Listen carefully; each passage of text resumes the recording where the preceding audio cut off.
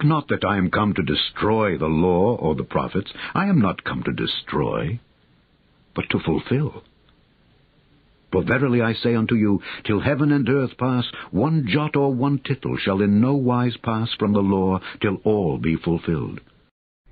And this day shall be unto you for a memorial, and ye shall keep it a feast to the Lord throughout your generations. Ye shall keep it a feast by an ordinance forever. Ramesses, your stubbornness is bringing this misery upon Egypt. It would cease if only you would let the Hebrews go. I will not be dictated to. I will not be threatened. I am the morning and the evening star. I am Pharaoh. Something else is coming. Something much worse than anything before. Please, let go of your contempt for life before it destroys everything you hold dear. Think of your son. I do. You Hebrews have been nothing but trouble.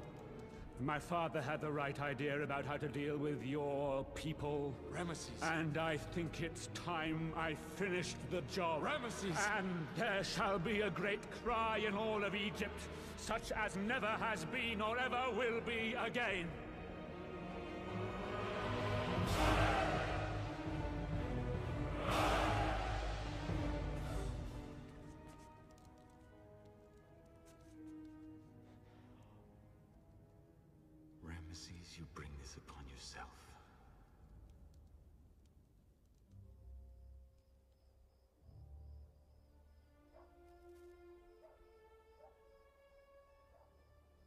Has come to me again, saying, Take a lamb,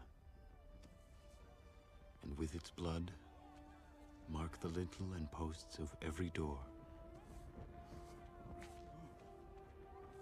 For tonight, I shall pass through the land of Egypt and smite all the firstborn.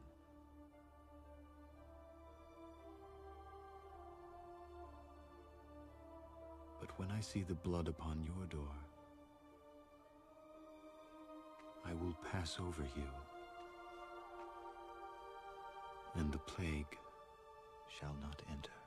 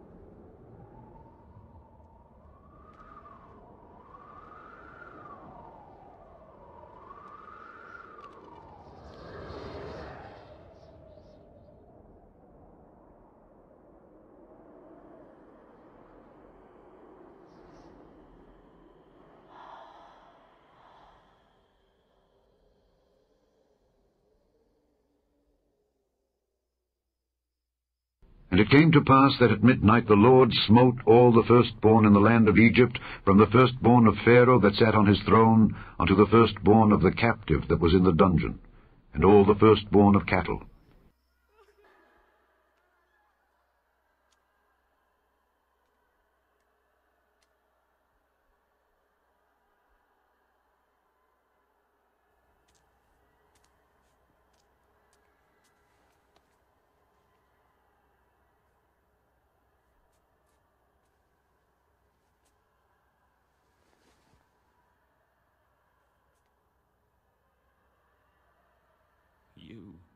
And your people have my permission to go.